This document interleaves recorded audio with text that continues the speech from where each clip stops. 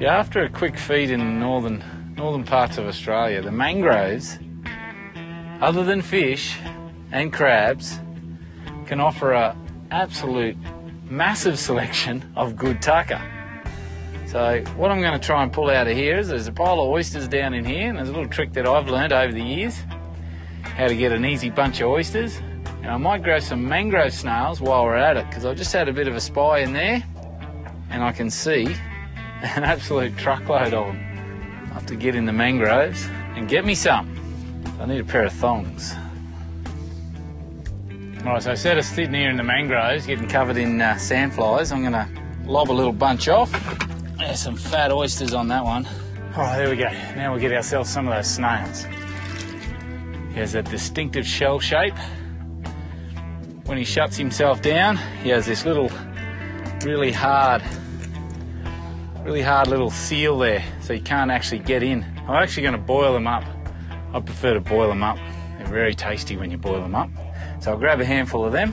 I don't mind the oysters, but I don't know about your snails. I think you can have your snails all to himself. What have you found in there, mate? Mangrove worms. Aren't you content with just eating snails? You got to eat worms as well. Yeah. That is one big ass worm. That it is, mate.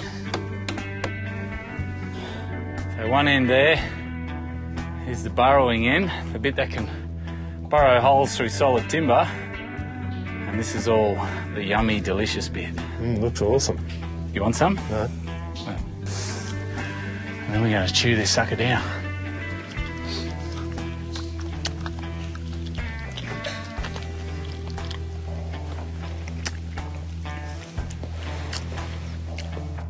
Tastes a bit like,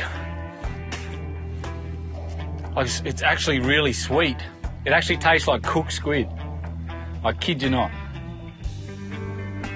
You sure you don't? You, yeah, sure you don't want to try some? Yeah, no, I'm good. Mate, if I was in a mangrove swamp, You are in a mangrove swamp. stuck in a mangrove swamp, I, I, I can help you with that. See if I was ya. stuck in a mangrove swamp, this thing here, mate, you'd be smoking these like little little jelly beans. You've definitely got some issues. Mangrove jelly beans. Mate, they are tasty as those oysters. I kid you not. Here you go. I kid you not.